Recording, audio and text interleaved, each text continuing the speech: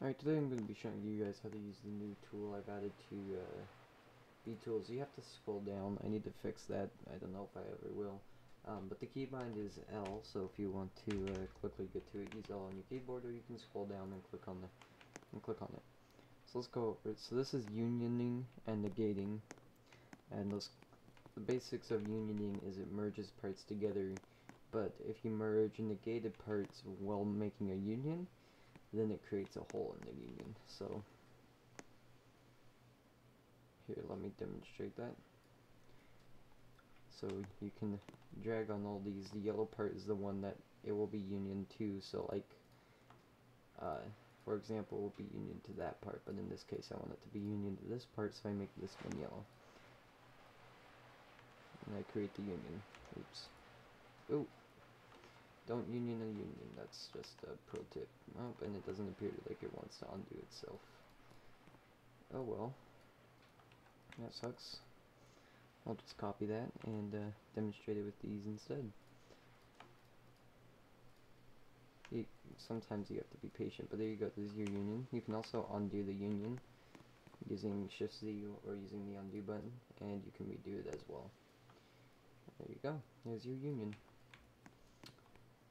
So, having the uh, primary part selected comes in handy when you're actually using the gated part. So if I select these two parts and I make them negated, you'll see that they become transparent, like semi-transparent.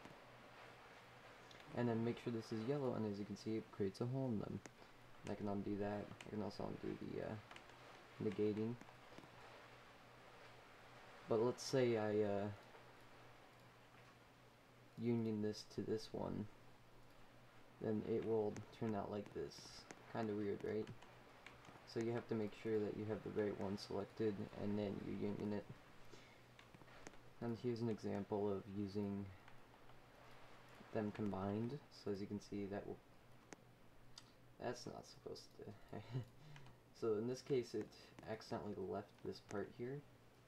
I'm not sure why it created this part. That's quite interesting.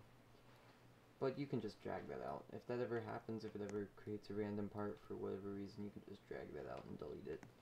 But as you can see, with this one it created a hole and also attached this to it. Now you can move that as one part.